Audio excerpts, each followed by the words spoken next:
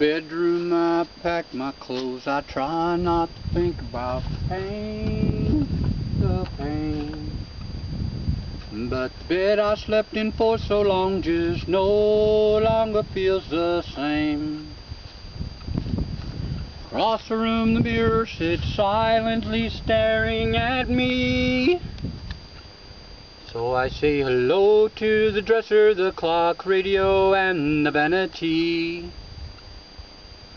Down the hallway I glance into the bathroom where her curling iron and her hair dryer sit. Her makeup all neatly arranged with the gloss that she spread upon her lips. And into the kitchen in front of the sink where she would stand singing softly to herself and lovingly washing every dish by hand. Through the garage past the 66 Mustang that she drove. I smile at the memory she worked three summers to buy the car that she loved. And into the yard where she taught our dog to play fetch.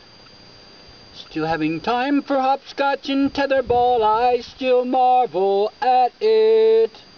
And she was a beauty, a lover of life, mother of my children.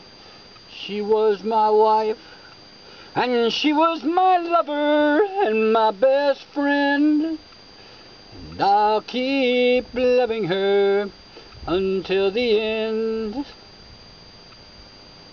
As I drive away, I glance into the mirror at everything I left behind. And I can't help but think I could not live with all those memories of mine. And I don't know where I'm going, but I know where I've been. And I'll keep loving her until my dying end. And she was a beauty, a lover of life mother of my children. She was my wife, and she was my lover, and my best friend. And I'll keep loving her until the end. Yes, I'll keep loving her until my dying end.